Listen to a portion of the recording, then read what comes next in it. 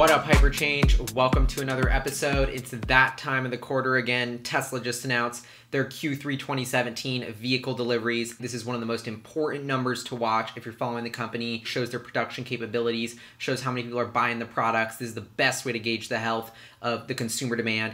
And it was an epic quarter. So I'll just read through the numbers for you guys. They delivered 26,150 vehicles, of which 14,065 were the Model S and of which 11,865 were Model X, and they delivered 220 Model 3s. This was an all-time record for Model S and X deliveries, representing a 4.5% increase over Q3 2016 and an 18% increase over Q2 2017. They still are projecting to deliver about 100,000 Model S and X vehicles in 2017, which is a 31% increase over last year. They had about 4,820 cars in transit. They do go on to note that Model 3 production was less than anticipated due to production bottlenecks, although they still think they're going to figure this out. There's no major issues, just a slightly slower ramp than expected. I put it all into graphics, and you can see they're delivering more and more cars. This was, I would say, an awesome quarter because they delivered more cars than they've ever delivered in their history as a company. They're doing cars at over 100,000 unit per year run rate now with the Model S and X. That is a great sign. Demand is still super healthy for those vehicles despite the fact that people were worried that Model 3 was going to cannibalize. It doesn't look like that's happening.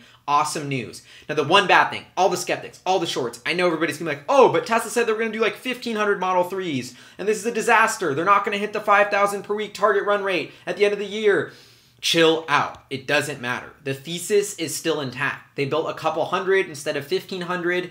The it wasn't it, you know the Tesla thesis was never a press like was never hinging on how many cars they delivered this quarter. It's all about whether they can deliver this the Model 3 with quality and they can eventually get to scale production. Whether it's a month late, whether it's 6 months late, it's going to take time. They're doing something that's incredibly tough, which is ramping production of a totally new vehicle from the ground up. They had to install all this new equipment to do it. Tesla always sets such aggressive targets that it never really surprises me to see them miss them. So they did guide about 1500 uh, Model 3s would be built or produced in Q3. They only did about 260 built, 220 delivered, so definitely underwhelming. But remember, the, the, the, curve starts very, very slow and then ramps up. Maybe they're only a couple weeks behind, and that's why they missed the deliveries. Overall, I thought these numbers were pretty good. We saw really healthy demand for Model S and X. Model 3 is going to take another quarter or two to ramp, but it's still going to get there eventually. Don't believe what you say in the headlines tomorrow when everybody hates on these numbers. This is going to be a record revenue for Tesla's automotive business. I guarantee you nobody's going to be talking about that the company's delivering more cars than they've ever delivered in their whole life.